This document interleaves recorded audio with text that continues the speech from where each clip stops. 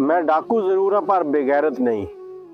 ਅਸਲਾਮ ਅਲੈਕਮ ਕੀ ਹਾਲ ਹੈ ਜੀ ਤੁਹਾਡਾ ਉਮੀਦ ਹੈ ਤੁਸੀਂ ਠੀਕ ਹੋਣੇ ਆ ਅੱਜ ਦੀ ਵੀਡੀਓ ਸਪੈਸ਼ਲੀ ਚੀਫ ਜਸਟਿਸ ਸਾਹਿਬ ਵਾਸਤੇ ਹੈ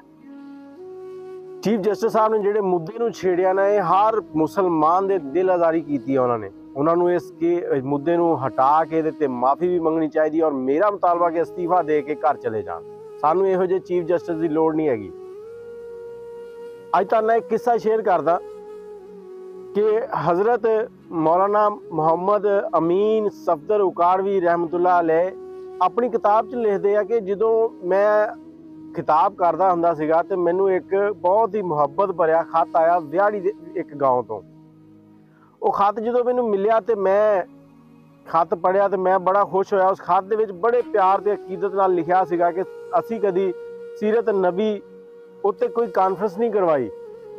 ਨਬੀ ਪਾਕ ਦੇ ਸੀਰਤ ਦੇ ਉੱਤੇ ਕੋਈ ਬਿਆਨ ਨਹੀਂ ਕਰਵਾਇਆ ਕਦੀ ਤੁਸੀਂ ਸਾਨੂੰ ਸ਼ਰਫ ਦਾ ਮੌਕਾ ਦਿਓ ਤੁਸੀਂ ਆਓ ਸਾਡੇ ਕੋਲ ਇੱਥੇ ਖਿਤਾਬ ਕਰੋ ਤਾਂ ਕਿ ਸਾਡੇ ਵੀ ਜਿਹੜਾ ਈਮਾਨ ਹੈ ਨਾ ਉਹ ਪੁਰਨੂਰ ਹੋ ਸਕੇ ਅੱਛਾ ਮੇਰੇ ਕੋਈ ਅਲਫਾਜ਼ ਅਗਰ ਗਲਤ ਹੋ ਜਾਣ ਤਾਂ ਮੈਂ ਮਾਫੀ ਚਾਹਨਾ ਕਿਉਂਕਿ ਕੋਈ ਕਿੱਸਾ ਇਹੋ ਜਿਹੇ ਹੁੰਦੇ ਕਿ ਜਿਹੜੇ ਸੁਣਾਉਣ ਲੱਗਿਆ ਥੋੜੀ ਬਹੁਤ ਕਮੀ ਬੇਸ਼ੀ ਹੋ ਜਾਂਦੀ ਹੈ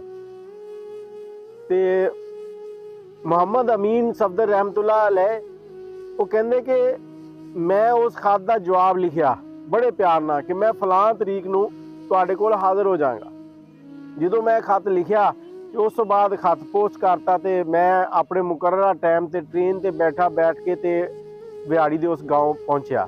ਸਟੇਸ਼ਨ ਤੋਂ ਉਤਰਿਆ ਟਾਂਗੇ ਤੇ ਬੈਠ ਕੇ ਉਸ گاؤں 'ਚ ਪਹੁੰਚ ਗਿਆ ਜਦੋਂ ਉਸ گاؤں 'ਚ ਪਹੁੰਚਿਆ ਤੇ ਉੱਥੇ ਦੇ ਜਿਹੜੇ ਲੋਕ ਸੀਗੇ ਨਾ ਇਸਤਕਬਾਲ ਬੜਾ ਪੁਰਜੋਸ਼ ਕੀਤਾ ਤੇ ਉਸ ਤੋਂ ਬਾਅਦ ਉਹਨਾਂ ਦੇ ਚਿਹਰੇ ਜਿਹੜੇ ਸੀ ਨਾ ਅੱਖਾਂ ਜਿਹੜੀਆਂ ਸੀ ਝੁਕੀਆਂ ਸੀਗੀਆਂ ਥੱਲੇ ਨੂੰ ਤੇ ਉਹ ਮੈਨੂੰ ਕਹਿ ਰਹੇ ਸੀਗੇ ਕਿ ਹਜ਼ੂਰ ਅਸੀਂ ਇਹ ਕਾਨਫਰੰਸ ਨਹੀਂ ਕਰਵਾਣੀ ਉਹਨਾਂ ਨੇ ਮੈਨੂੰ ਕੁਝ ਹਦੀਆ ਪੇਸ਼ ਕੀਤਾ ਤੇ ਮੈਨੂੰ ਕਹਿੰਦੇ ਜੀ ਤੁਸੀਂ ਵਾਪਸ ਚਲੇ ਜਾਓ ਮੈਂ ਕਿਹਾ ਜੀ ਕਿਉਂ ਵਜ੍ਹਾ ਦੱਸੋ ਉਹਨਾਂ ਨੇ ਜਦੋਂ ਵਜ੍ਹਾ ਦੱਸੀ ਉਹ ਕਹਿੰਦੇ ਕਿ ਸਾਡੇ گاਉਂ ਦੇ ਵਿੱਚ ਪਿੰਡ ਦੇ ਵਿੱਚ 90% ਜਿਹੜੀ ਆਬਾਦੀ ਉਹ ਕਾਦੀਆਨੀਆਂ ਦੀ ਆ ਤੇ ਅਸੀਂ ਸਿਰਫ 10% ਸੁੰਨੀ ਆ ਸਾਨੂੰ ਇਹ ਧਮਕੀ ਮਿਲੀ ਹੈ ਕਿ ਅਗਰ ਤੁਸੀਂ ਇਹ ਕਾਨਫਰੰਸ ਕਰਵਾਈ ਤੇ ਤੁਹਾਡੀਆਂ ਇੱਜ਼ਤਾਂ, ਤੁਹਾਡਾ ਜਾਨੋ ਮਾਲ ਇਹਦੀ ਹਿਫਾਜ਼ਤ ਕੋਈ ਨਹੀਂ ਕਰ ਸਕੇਗਾ। ਅਸੀਂ ਹੁਣ ਤਦਾਦ 'ਚ ਵੀ ਬਹੁਤ ਥੋੜੇ ਆ ਤੇ ਲਿਹਾਜ਼ਾ ਅਸੀਂ ਤੁਹਾਡੇ ਕੋਲ ਮਾਜ਼ਰਤ ਚਾਹੁੰਦੇ ਆ ਤੁਸੀਂ ਜਾਓ ਵਾਪਸ। ਤੇ ਹਜ਼ਰਤ ਫਰਮਾਉਂਦੇ ਕਿ ਮੈਂ ਉਹਨਾਂ ਨੂੰ ਆਖਿਆ ਕਿ ਜੇ ਮਾਮਲਾ ਹੁੰਦਾ ਮੇਰਾ ਤੇ ਤੁਹਾਡਾ, ਤੇ ਮੈਂ ਵਾਪਸ ਚਲਾ ਜਾਂਦਾ। ਲੇਕਿਨ ਹੁਣ ਮਾਮਲਾ ਸਾਡੇ ਨਬੀ ਪਾਕ ਦਾ ਆ ਤੇ ਮੈਂ ਵਾਪਸ ਨਹੀਂ ਜਾਣਾ। ਕੁਝ ਵੀ ਹੋ ਜਵੇ, ਉਹਨਾਂ ਨੇ ਕਿਹਾ ਜੀ, ਫੇਰ ਸਾ- ਤੁਸੀਂ ਤੇ ਚਲੇ ਜਾਓਗੇ ਬਿਆਨ ਕਰਕੇ। ਤੇ ਸਾਡੇ ਵਾਸਤੇ ਬੜਾ ਮਸਲਾ ਬਣ ਜਾਣਾ। ਤੇ ਹਜ਼ਰਤ ਨੇ ਉਹਨਾਂ ਨੂੰ ਪੁੱਛਿਆ ਕਿ ਇੱਥੇ ਲਾਗੇ ਕੋਈ ਇਹੋ ਜਿਹਾ ਬੰਦਾ ਹੈ ਜਿਹਦਾ ਜ਼ੋਰ ਬਹੁਤ ਹੋਵੇ, ਡੰਡੇ ਵਾਲਾ ਬੰਦਾ। ਉਹਨਾਂ ਨੇ ਕਿਹਾ ਜੀ, ਹੋਰ ਤੇ ਕੋਈ ਨਹੀਂ, ਇੱਕ ਨੂਰਾ ਡਾਕੂ ਹੈ। ਉਹ ਤੋਂ ਸਾਰਾ ਇਲਾਕਾ ਬਹੁਤ ਡਰਦਾ। ਤੇ ਹਜ਼ਰਤ ਕਹਿੰਦੇ ਕਿ ਚਲੋ ਫਿਰ ਮੈਨੂੰ ਉਹਦੇ ਡੇਰੇ ਤੇ ਲੈ ਚੱਲੋ। ਜਦੋਂ ਉਹਦੇ ਡੇਰੇ ਤੇ ਗਏ ਆ, ਤੇ ਨੂਰੇ ਨੇ ਕਿਹਾ ਕਿ ਅੱਜ ਸਾਡੇ ਕੋਲ ਪਗੜੀਆਂ ਵਾਲੇ ਕਿਸ ਤਰ੍ਹਾਂ ਆ ਗਏ ਆ? ਤੇ ਹਜ਼ਰਤ ਨੇ ਨੂਰੇ ਨਾਲ ਗੱਲ ਕੀਤੀ ਵੀ ਨੂਰੇ, ਆਹ ਰੌਲਾ ਆ। ਨੂਰਾ ਕਹਿੰਦਾ ਕਿ ਹਜ਼ਰਤ, ਮੈਂ ਡਾਕੂ ਜ਼ਰੂਰ ਹਾਂ ਪਰ ਬੇਗੈਰਤ ਨਹੀਂਗਾ ਇਹ ਕਾਨਫਰੰਸ ਹੋਏਗੀ ਔਰ ਮੇਰੇ ਹੁੰਦਿਆਂ ਹੋਏਗੀ, ਮੈਂ ਵੇਖਦਾ ਕੌਣ ਆਂਦਾ ਇੱਥੇ। ਤੇ ਨੂਰੇ ਨੇ ਉੱਥੇ ਜਾ ਕੇ 3 ਘੰਟੇ ਪਹਿਰਾ ਦਿੱਤਾ ਤੇ 3 ਘੰਟੇ ਉਹ ਕਾਨਫਰੰਸ ਚੱਲੀ। ਤੇ ਉਸ ਤੋਂ ਬਾਅਦ ਨੂਰੇ ਨੇ ਆਖਿਆ ਕਿ ਇਹਨਾਂ ਲੋਕਾਂ ਨੂੰ ਜਿਸ ਬੰਦੇ ਨੇ ਵੀ ਅੱਖ ਚੁੱਕ ਕੇ ਵੇਖਿਆ, ਮੈਂ ਉਹਦੀਆਂ ਅੱਖਾਂ ਕੱਢ ਦਿਆਂਗਾ। ਤੇ ਕੁਝ ਅਰਸੇ ਬਾਅਦ ਫਰਮਾਉਂਦੇ ਕਿ ਮੇਰੇ ਕੋਲ ਇੱਕ ਸਿਰ ਤੇ ਅਮਾਮਾ ਬੰਨਿਆ ਹੋਇਆ ਤੇ ਇੱਕ ਬੰਦਾ ਹਾਜ਼ਰ ਹੋਇਆ ਤੇ ਮੈਂ ਉਹਨੂੰ ਪੁੱਛਿਆ ਜੀ ਕੌਣ ਤੁਸੀਂ? ਉਹਨੇ ਕਿਹਾ ਜੀ ਮੈਂ ਉਹੀ ਨੂਰਾ ਡਾਕੂ ਆ, ਜਿਹਨੂੰ ਤੁਸੀਂ ਕਾਨਫਰੰਸ ਦੇ ਪਹਿਰੇ ਵਾਸਤੇ ਖੜਾ ਕੀਤਾ ਸੀਗਾ। ਤੇ ਉਹਨੇ ਮੈਨੂੰ ਦੱਸਿਆ ਕਿ ਜਦੋਂ ਮੈਂ ਵਾਪਸ ਆ ਕੇ ਸੁੱਤਾ ਆ ਤੇ ਮੇਰੇ ਖਾਬ 'ਚ ਨਬੀ ਪਾਕ ਆਏ ਆ, ਉਹਨਾਂ ਨੇ ਆ ਕੇ ਫਰਮਾਇਆ ਕਿ ਤੂੰ ਅੱਜ ਮੇਰੀ ਕਾਨਫਰੰਸ ਤੇ ਪਹਿਰਾ ਦਿੱਤਾ ਆ ਮੇਰੀ ਨਬੂਵਤ ਮੇਰੇ ਆਖਰੀ ਨਬੀ ਹੋਣ ਦੀ ਗੱਲਬਾਤ ਹੋ ਰਹੀ ਸੀ ਤੂੰ ਉੱਥੇ ਪਹਿਰਾ ਦਿੱਤਾ ਲੋਕਾਂ ਦੀ ਜਾਨੋ ਮਾਲ ਦੀ ਹਿਫਾਜ਼ਤ ਕੀਤੀ ਆ ਤੇ ਉਹ ਦਿਨ ਤੇਰੇ ਗੁਨਾਹਾਂ ਦੀ ਬਖਸ਼ਿਸ਼ ਦਾ ਦਿਨ ਹੈ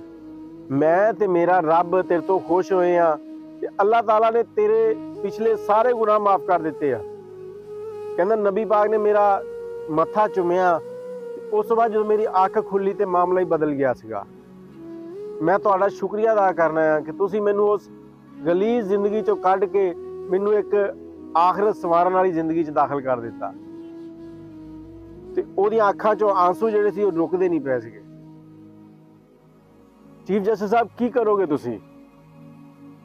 ਲੋਕਾਂ ਦੇ ਦਿਲਾਂ ਨਾਲ ਖੇਲ ਰਹੇ ਹੋ। ਮਰਨਾ ਨਹੀਂ ਤੁਸੀਂ। ਰੱਬ ਨੂੰ ਜਾਨ ਨਹੀਂ ਦੇਣੀ। ਕਿਉਂ ਇੱਕ ਰਿਆਸਤ ਦੇ ਵਿੱਚ ਖਾਨਾ ਜੰਗੀ ਛੇੜਨ ਤੁਰੇ ਹੋ? ਤੁਹਾਨੂੰ ਪਤਾ ਕਿ ਤੁਹਾਡੀਆਂ ਇਹ ਗੱਲਾਂ ਲੋਕਾਂ ਦੇ ਦਿਲਾਂ ਤੇ ਛੁਰੀਆਂ ਵਾਂਗੂ ਲੱਗ ਰਹੀਆਂ ਆ ਕਾਦੀਆਨੀ ਕੱਲ ਵੀ ਕਾਫਰ ਸੀ ਅੱਜ ਵੀ ਕਾਫਰ ਆ ਤੇ ਆਉਣ ਵਾਲੇ ਟਾਈਮ 'ਚ ਵੀ ਕਾਫਰ ਹੋਣਗੇ